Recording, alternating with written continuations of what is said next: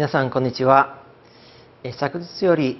ピリピ人への手紙を学んでおりますけれども今日はその中からパウロの喜びについて一緒に学んでいきたいと思います。本日の聖書箇所はピリピの1章12節から21節です。タイトルは福音の前進は私が喜び生きる理由です。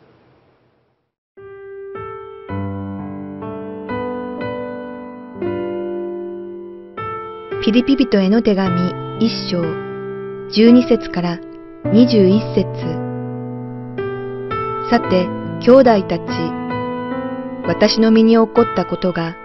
かえって福音を前進させることになったのを知ってもらいたいと思います。私がキリストのゆえに投獄されているということは、親衛隊の全員とその他のすべての人にも明らかになり、また、兄弟たちの大多数は、私が投獄されたことにより、主にあって確信を与えられ、恐れることなく、ますます大胆に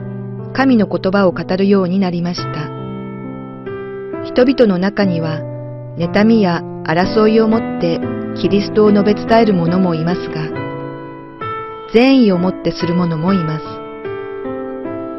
一方の人たちは愛をもってキリストを伝え、私が福音を弁償するために立てられていることを認めていますが、他の人たちは純真な動機からではなく、党派心をもってキリストを述べ伝えており、投獄されている私をさらに苦しめるつもりなのです。すると、どういうことになりますか？つまり、見せかけであろうとも、真実であろうとも、あらゆる仕方でキリストが述べ伝えられているのであって、このことを私は喜んでいます。そうです。今からも喜ぶことでしょう。というわけは、あなた方の祈りとイエス・キリストの御霊の助けによって、このことが私の救いとなることを私は知っているからです。それは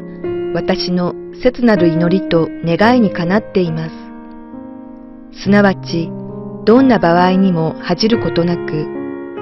いつものように今も大胆に語って、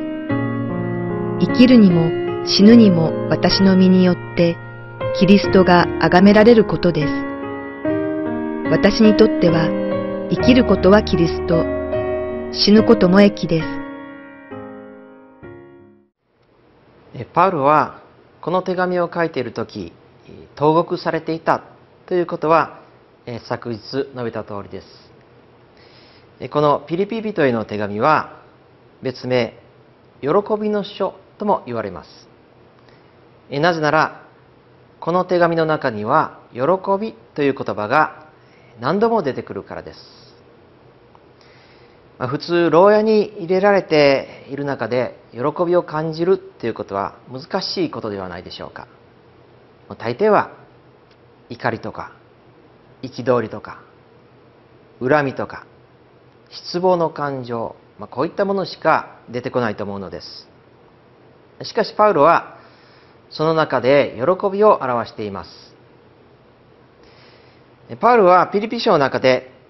様々な喜びの感情を表しています。まあ、その中で、え今日の一章12節から18節では、パウロの持っている一つの喜びについて書かれています。12節では、さて兄弟たち、私の身に起こったことがかえって福音を前進させることになったのを知ってもらってもらいたいと思いますとありますこの箇所に書かれているパウロの喜びというのは自分が投獄されたことによって福音が前進するようになったこと。つまりパウロにとっては自分自身のことよりも福音が前進するということが何よりの喜びであったわけです。多くの人にとっては自分自身のことが大事です。しかしパウロはたとえ自分がどうなってもそのために福音が前進するならば自分はそれが嬉しいと言っているのです、まあ、私たちはここにパウロの献身というものを見ることができると思います。ではなぜパウロが投獄されることによって福音が前進するのでしょうか？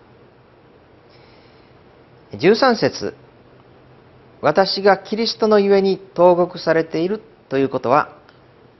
親衛隊の全員とその他のすべての人にも明らかになりとあります。パウロが投獄されたのが何か悪いことをしたのではなくってイエス・キリストを述べ伝えたためだということが彼を投獄したローマの親衛隊や他の全ての人々にも分かったわけです。それが一つの証になったのですね。パウロのこの自分の信念を曲げない姿勢を見て心打たれたという人がいたかも分かりません。また彼をそこまで夢中にさせてしまうイエス・キリストとは一体どんな人なのだろうというふうに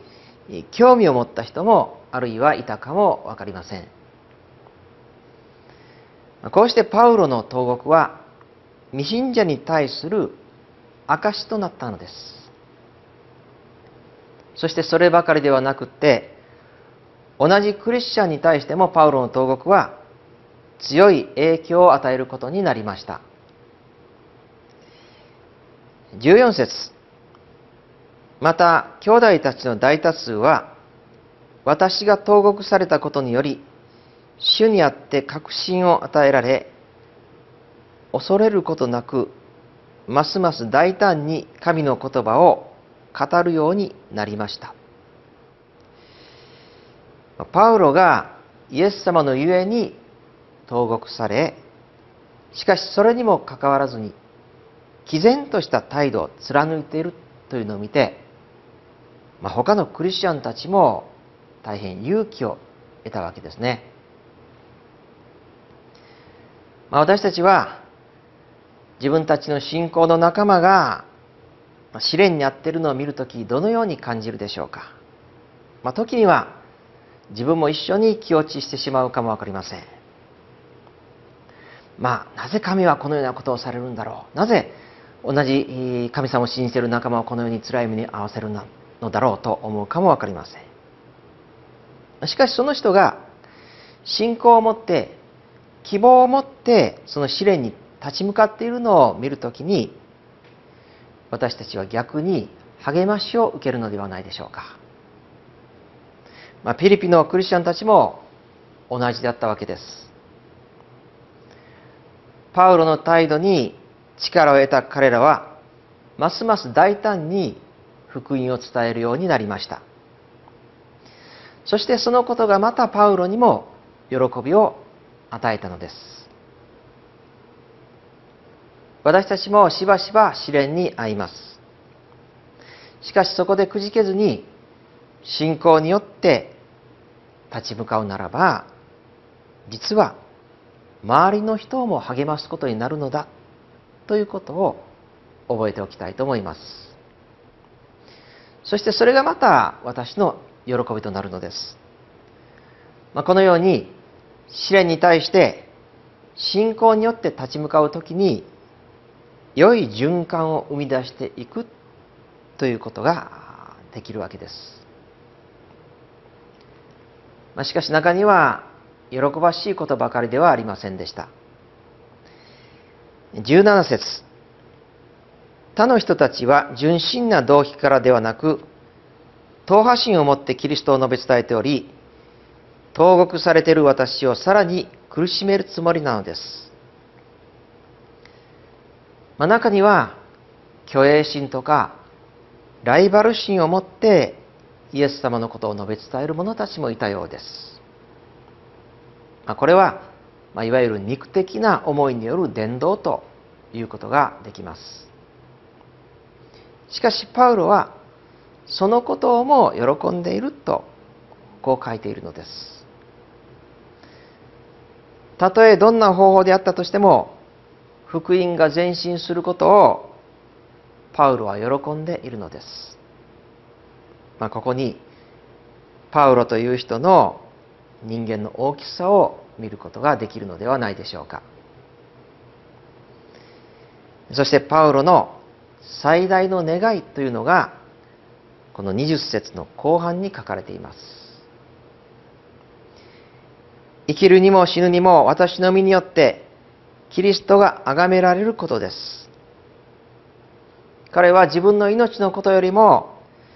ただキリストが崇められるということを人生の目標にしているのです。そしてそんなパウロの生き方を表す言葉がこの21節に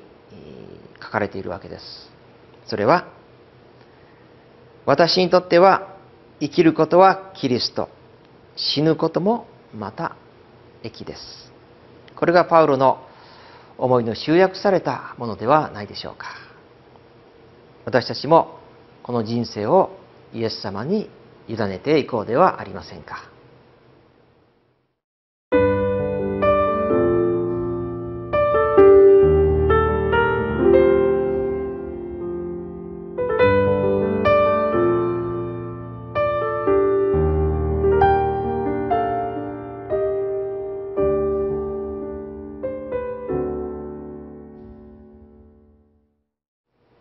私たちは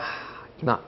生きることも死ぬことも神様の手の中に委ねているでしょうか。一言お祈りをいたします。愛する天皇お父様感謝いたします。パウロは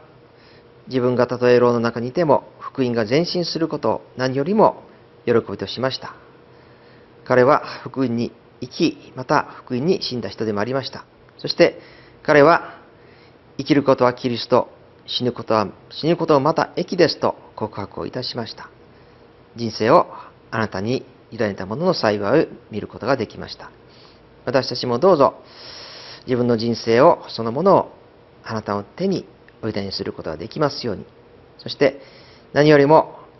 この福音が伝えられることを私たちの喜びとすることができるようにどうぞ導いてください。主イエス・キリストの皆によって感謝してお祈りいたします。アーメン